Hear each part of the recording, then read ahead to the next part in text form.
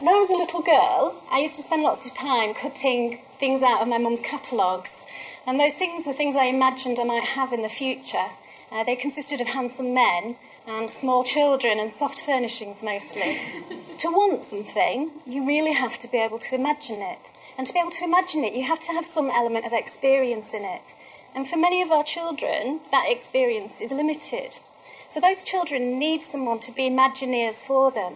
And I think that's one of the things that education should be about. It should be about building possible futures for children and scaffolding and tooling that possible future until they've reached a point where they can dream and imagine for themselves.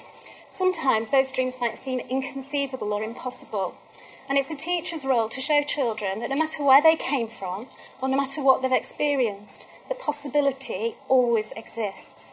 And I think that dream unites everyone across the education spectrum, regardless of whether they come from right or left.